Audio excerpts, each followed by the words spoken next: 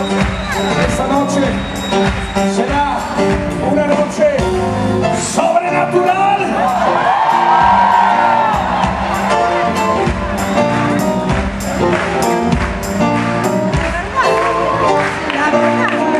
Seguramente este auditorio se ha usado para muchas cosas a través de los años. Eventos deportivos, cívicos, educacionales, artísticas. Pero dentro de todas esas actividades, usted y yo reconocemos que cuando el pueblo de Dios entra a un lugar, usted y yo convertimos ese, en ese, ese lugar en un templo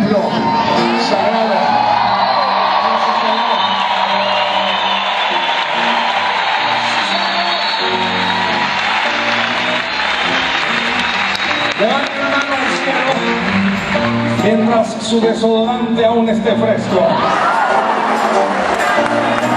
Porque le aseguro que al ratito eso va a cambiar. Y acaba de haber un santo tufo. Mientras todavía estemos frescos, levante una mano y diga, Señor, bienvenido seas a este lugar.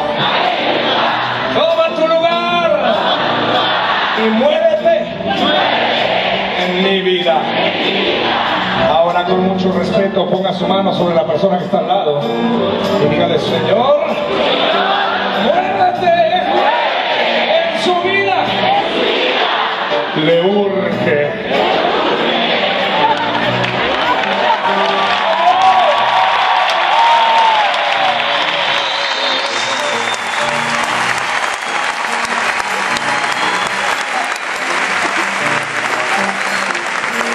sido un privilegio para mí haber crecido en la iglesia cristiana.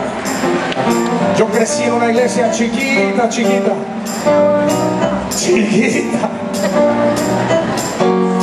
Nosotros cuando contábamos los hermanos que asistían, contábamos cualquier cosa que se moviera. Si entraba un perro lo contábamos como miembro para subirle un poquito al número. Los bebés de las hermanas embarazadas. Nuestro versículo favorito de la Biblia era donde dos o tres están congregados en mi nombre.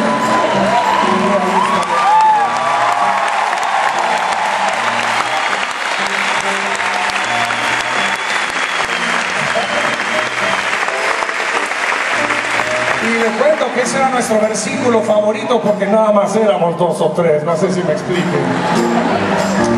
Pero cómo me encanta haber crecido en la iglesia cristiana. Poder haber tenido el privilegio por más de 27 años de estar en el ministerio a tiempo completo, de representar a la preciosa iglesia de Jesucristo en todo el mundo entero y de mostrar las buenas noticias de Jesús.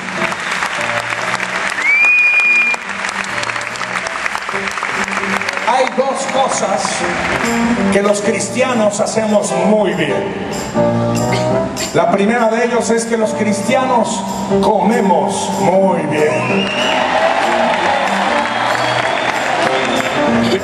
Yo conozco cristianos que quizá no fumen, quizá no tomen, ah, pero ¿cómo comen?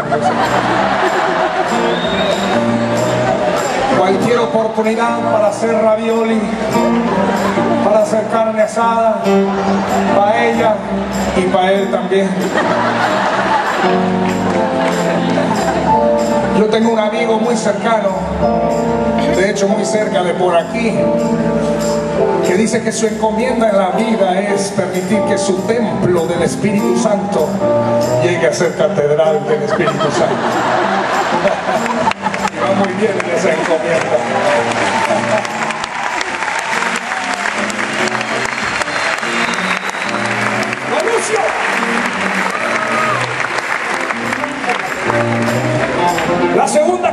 Los cristianos hacemos muy bien y que nos gusta mucho hacer es cantar. Los cristianos cantamos en la regadera, en el inodoro. Dígame, hermano, dígame, usted sabe que sí. En los funerales, en las bodas, en todo cantamos los cristianos. Una vez una periodista secular, prima hermana, me preguntó, Marcos, ¿por qué los cristianos cantan tanto? Ale, eso está sencillo. Lo que pasa es que cuando la gente está enamorada se canta y los cristianos vivimos enamorados de Jesús.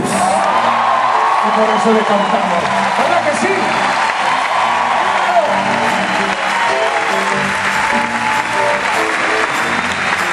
En mi iglesia Quizá también en la suya había un tiempo que le llamábamos el tiempo de los cantos especiales. Este era un tiempo muy interesante porque era micrófono abierto, casi como un karaoke cristiano. Cualquiera que quisiera cantar, pudiese o no, pasaba y decía cosas como por decir, hermanos, yo no sé cantar, pero no escuchen mi voz, escuchen la letra de esta alabanza y abría la boca y recién ahí comenzaba la gran tribulación.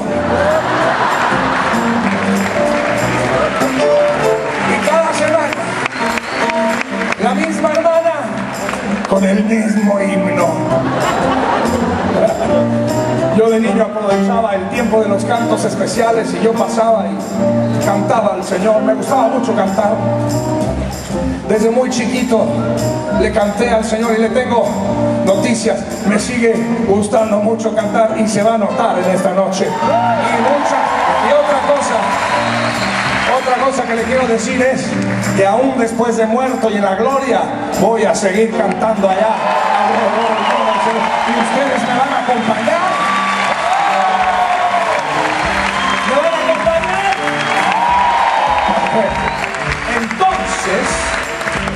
Llamemos esta noche ensayo general. ¿Están listos allá arriba? ¿Qué tal aquí abajo? No me despeinen. Espérenme porque esta alabanza requiere un poquito de lubricante.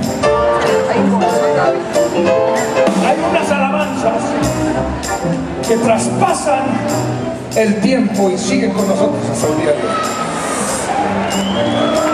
Tómese una aspirina, hermana, que se.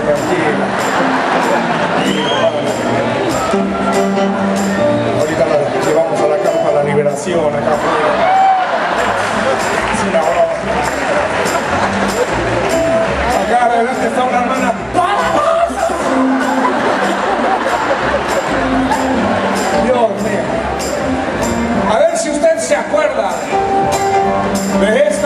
que crecimos mucho de nosotros cantando.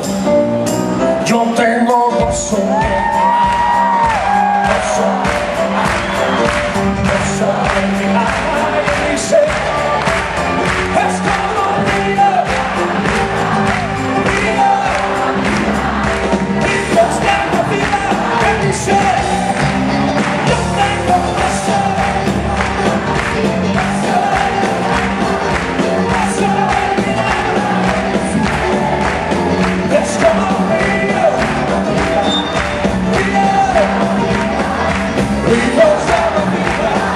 ¿Se